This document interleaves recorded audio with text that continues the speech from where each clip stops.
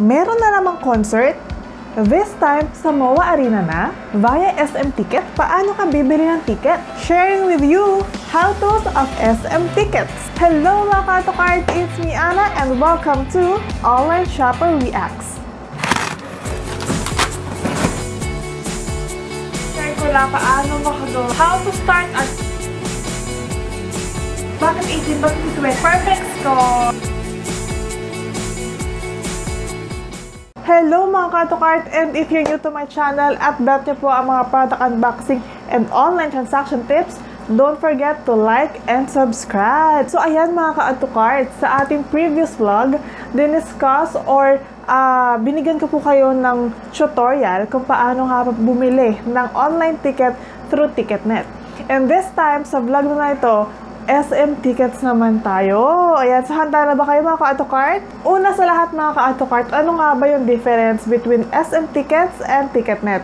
Well, ayun nga po, si Ticketnet, kapag ka ang event nyo or ang concert nyo or ang program nyo is sa Araneta Coliseum or sa New Frontier, ang ticketing po nito ay sa Ticketnet. Whereas kapag ka po uh, SM Mawa Arena or SM Skydome, ang Ticketnet ang tickets po natin ay sa SM Tickets. Okay? So, saan nga po tayo makakabili ng ticket? Ano? Well, mga ka-autocart, uh, karamihan po sa mga SM malls o SM shopping malls na may sinihan o yung mga movie house po, uh, meron po yan talagang mga uh, SM tickets na branches kasi nga po doon binibili yung uh, ticket natin sa sinihan. So, most likely, meron silang uh, access sa mga tickets for the concerts and other events na mangyayari kay MOA Arena at kay SM Skydome. At syempre rin mga ka-autocart, pwede po tayong bumili ng tickets either online or offline. At ngayon nga po mga ka-autocart, tuturuan ko po kayo kung paano nga bumili ng online ticket through SM Tickets. But make sure mga ka-autocart, panoorin niyo po, watch until the end of this video dahil meron na naman tayong additional tips and tricks kay SM Tickets at the end of this video. At ngayon mga katukart, ipapakita ko naman sa inyo kung paano tayo bibili ng online tickets through SM Tickets. So, ayan. Click lang natin yan. Ayan ang itsura ng SM Tickets. Yan, di ba? So, andyan yung mga available na events na pwede nang bilhan ng ticket. And then, mga katukart, ito ha. Uh, take note, Kay SM Tickets, required po tayo na mag-register for your official account. Oo. Unlike kay Ticketnet, Ticketnet kahit guest pwede. No? Email lang ang kailangan. Ito kasi kailangan natin mag-login. Make sure mga ka-autocart kung bibili kayo ng ticket, mag-login na agad kayo. Oo. Kasi ang hirap niyan, kapag nandun na kayo sa mismong uh, settlement ng payment, hindi kayo matutuloy, hindi kayo mapaproceed kasi kailangan So, i-require kayo ni SM Tickets na mag-login. Okay? So, ngayon, mag-login na muna tayo. Ito mga ka-autocart username to ha. Madalas kasi, tulad ko, minsan narilito pa rin ako dyan. Ang nalalagay ko dyan, email. Mm-mm. Na madalas, hindi siya hindi siya tinatanggap kasi nga, habi ko, bakit hindi tinatanggap? Pero yun nga, username kasi talaga siya dapat, tas password. And then, login lang tayo. And then, ayan mga katokat. Ito, kay SM Tickets, you can choose kung paano nyo ihahanapin yung event. Pwedeng, ayan, type nyo lang dito kung, yan. Mare, ano ba, wala pa ata sa arena. May, meron na ba? Sorry. Ano na ba Korean ngayon? May Korean na ba? Mm-hmm. Parang wala pa. So, ayan. Kunwari, kunwari lang, ito, Alanis. Yan. Okay, tapos, pwede rin nyo namang hanapin yon via date. Pero sige, dalaklik ko na. Go natin to. Okay, so siya. Ngayon, kita nyo? Mm-hmm. Si S&P Katsagi ang merong poster dito, si plan. Ito, mga ka-atukata, guidelines to for online ticket purchase. And ito mga ka-autocart, sobrang take note natin to ha. Ito, ito tong tatlo. Kasi mga ka-autocart, pag bibili kayo ng ticket online kay SM Tickets, strict talaga sila. As in, sobrang strict nila.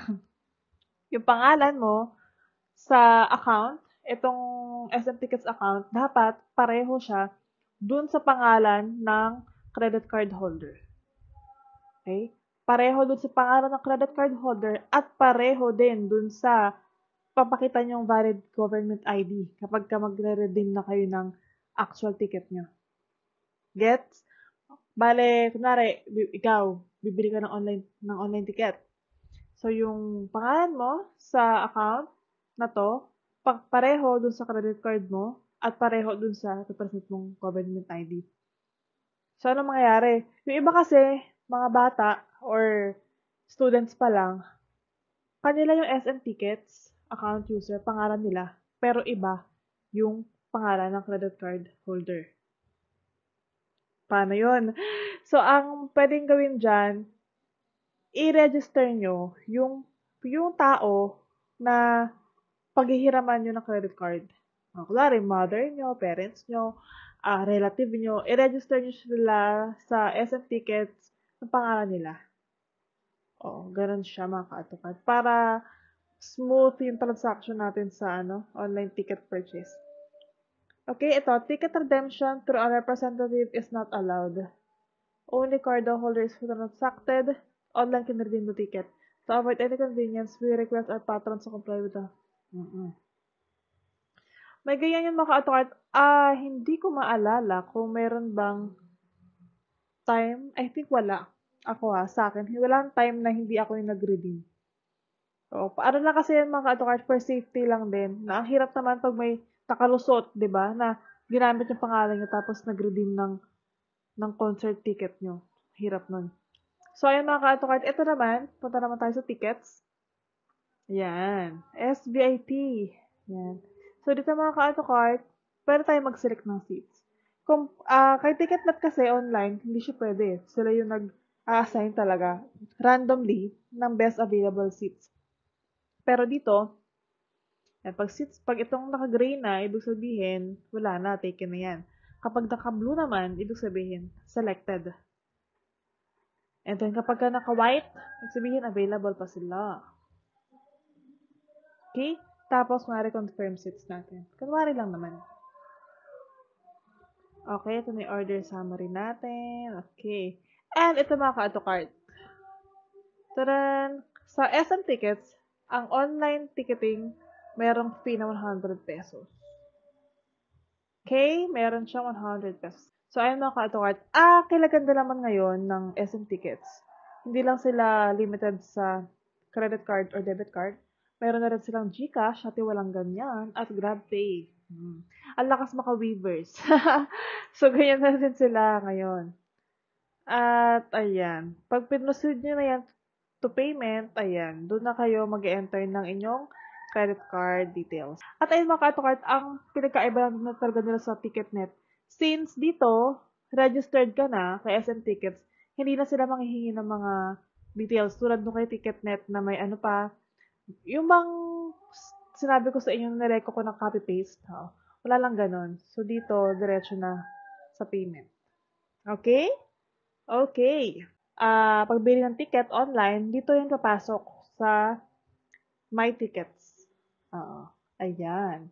My tickets or my e-tickets. Before, wala na kasi yung ano eh, syempre expired na yun.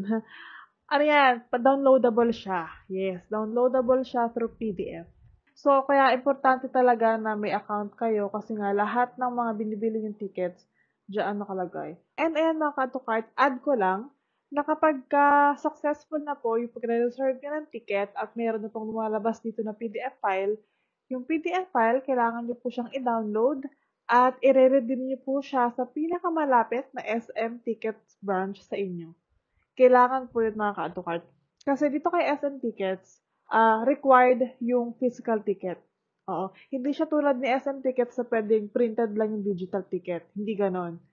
Kay SM Tickets, kailangan nyo talagang ipa-redeem o ipa-convert into actual ticket yung PDF na na-download nyo online. At ayan nga po mga ka-autocart, ang paraan kung paano po bumili ng online tickets kay SM Tickets. At ngayon, for the additional info, ayan.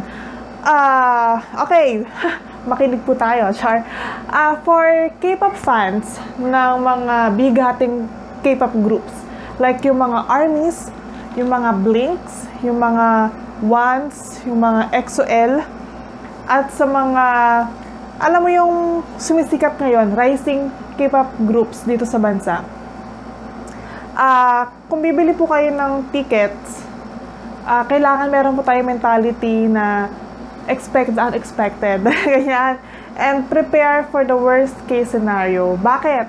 Kasi po mga ka-autocard sa SM Tickets, based on experience at based sa kanilang uh, legacy, wow, history, madalas po nagka-crush siya. As in, totally crush. Oo. Hindi yung crush na crush mo, pero crush as in nasisira siya. Ayan mga ka-autocard.